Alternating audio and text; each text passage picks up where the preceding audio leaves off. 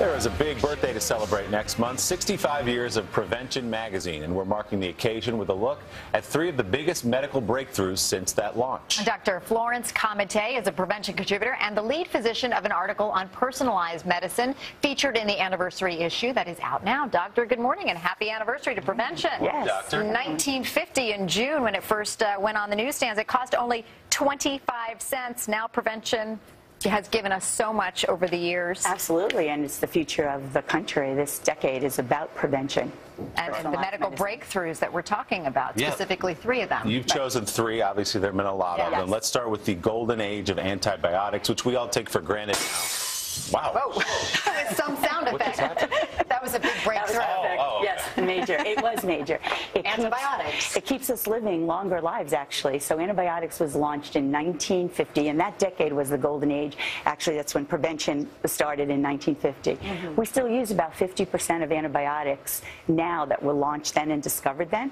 And before that, five to 10 women would die in childbirth. And then since then, we, we live longer lives, and women aren't dying like that due to infection, and young people with infection don't die. So it's a big breakthrough. Absolutely. Absolutely. All right, our next medical breakthrough is reproductive technology. Reproductive technologies, here you have it, the egg and the mm-hmm. sperm and the zygote.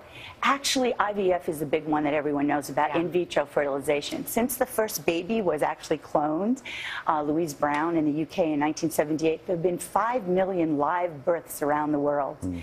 And not only is it about IVF, but it's women who don't have ovaries who can get donor eggs and make babies, live babies. What could be a greater gift than that? Or men who might have sperm hardwired with colon cancer, mm. and now you can pluck individual ones out and have a baby that's not going to grow up to have colon cancer. Help so many Incredible. families. The third one, what do we mean when we say personalized medicine? So personalized medicine, that's the big one. Obviously, a profound change in the way we're going to practice. And as Obama mentioned in his State of the Union, precision medicine, which is the new term for pers personalized medicine, will change the way we practice medicine 180 degrees.